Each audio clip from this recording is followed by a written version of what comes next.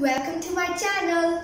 Today I'll be showing you, oh I'm sorry, we will be showing you how to make a tower out of Jenga. And then I will also teach you how to play this game. So guys, we have opened it and there are 42 blocks. So uh, if one block is missing in the Jenga, then it will be like a drastic change in the whole tower.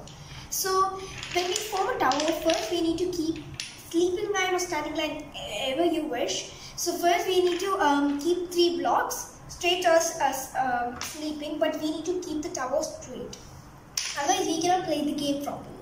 So after that we need to uh, put a sleeping line, don't keep it standing line.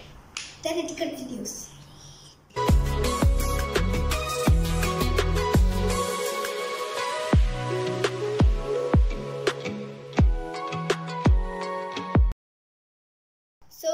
Let's play. Vaiga, you go first. Why you? Okay, then I'll go. I want something bad. Okay, so I got the first one, you go.